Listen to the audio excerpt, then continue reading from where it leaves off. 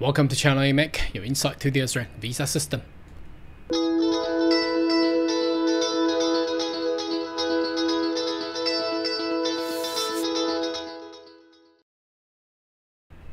Good day everyone, my name is Carl Young, your online YouTube visa consultant. Are you interested in migrating to Australia? Why don't you consider to subscribe to my channel and turn on the bell on the side so once you have all the updates and news, you'll be the first one getting all the insight. All right, uh, numbers of stuff that I need to cover in this video on Monday, the 9th of September 2024. First of all, is we will take a look at the uh, the the newest, the most recent uh, invitation round from the uh, Independent Skill Subclass 189 visa.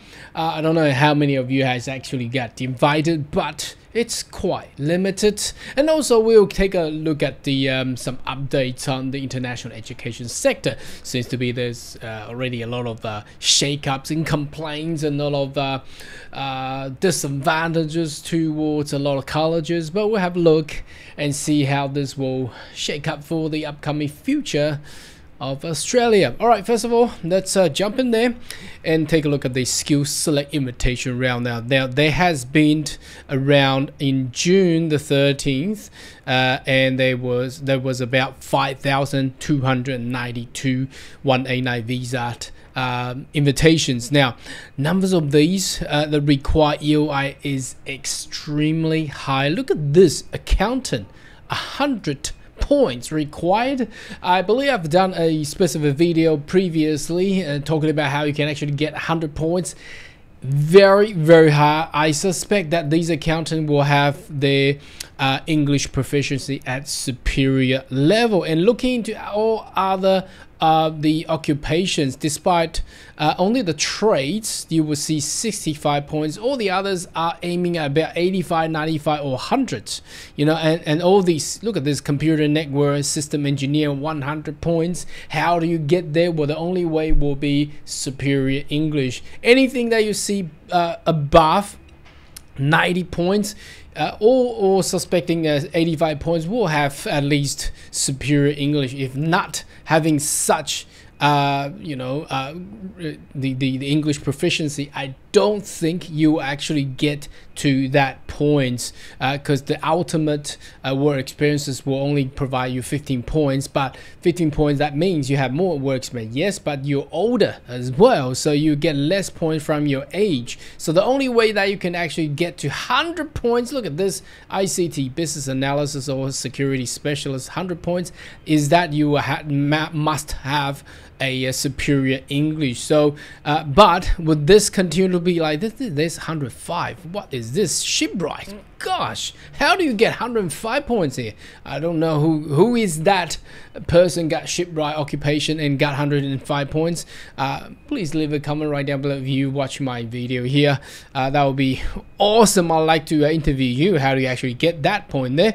Now, um, as far as we're concerned, it's very limited. And if we're looking into the actual total number of 5,292 uh, quota being used and plus the previous round, uh, if we can check out the December one, it was about 8,000 of them. So that almost deplete all the 189 quota because the 189 quota for this year is only one uh, 16,900. So we already seen there's a bit uh, about uh, 13 plus thousand being used for these two rounds. So that means there will be very, very limited uh, 189 invitation towards uh, you know 30th uh, of June 2025 and I suspect that's that is where the new uh, the point test system will actually be introduced and will be out very very soon. So uh, unfortunately I don't think anyone well I, I for sure I don't know anyone with the occupation shipwright with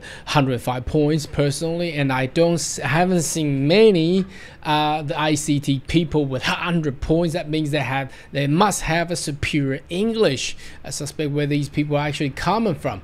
Uh, anyway, let's uh, get some updates on the other things. Now, obviously, there has been a big talks about the uh, uh, the international education sector. Now we have learned that over um, last week there obviously has been another uh, round of the. Um, let me magnify that a bit uh, there.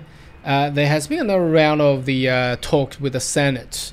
Uh, an issue has been raised in regards to uh, numbers of colleges. Now, now they are not ghost colleges. They did not receive any suspension and things like that. But instead of that, they receive zero quota for the students. I mean, that's I think that's uh, that's penalizing the actual uh, the actual in, in institution provider as well because if they receive zero quota that, that might as well just being declared as a ghost college. Why? Because you have zero international student now you may argue that they could uh, they could have um, uh, uh, you know domestic students yes they can but uh, if they are only targeting undomestic students, why on earth they, they should apply for CRICOS to become a provider that could provide uh, courses to international students whilst they uh, receive uh, zero quota?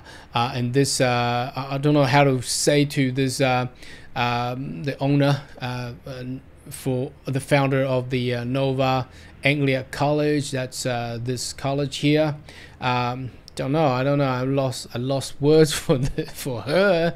I'm not too sure what you can do there. So um, well, uh, that's the fact. I think I think there, there's a continual debates uh, from the sector uh, towards what the government's decision had made, uh, which is uh, destructive. It's disastrous in the international education sector.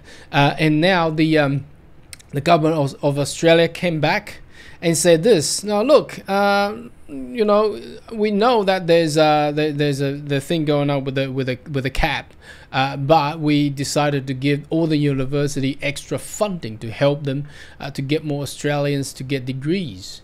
Now, I'm not, I don't know what to say about this, uh, but.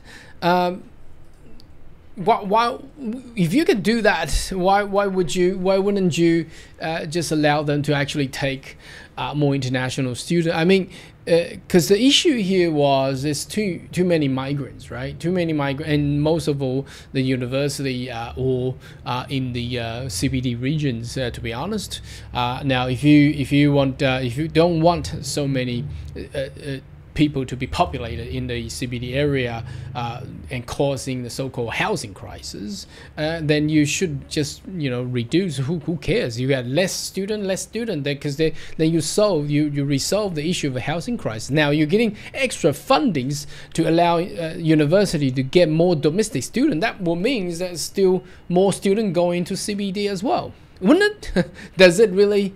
Solve the problem uh, for housing crisis or just solve the problem for the university in make, making more monies I don't know. I mean, I don't know. I think this is for all of you to actually make a judgment there. Uh, I think this this uh, government is actually losing track and lo also losing.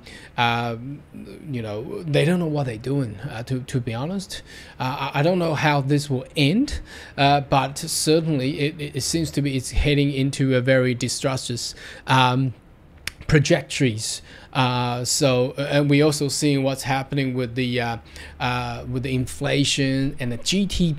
G, uh, the, the GDP, the domestic growth, production growth, was only 0.2 percent uh, from the last report and that's that's just extremely bad that means the, the, the whole nation is not growing at all uh, so uh, I think there will still be a lot of other information to come, and there's another six, well, uh, three months to go.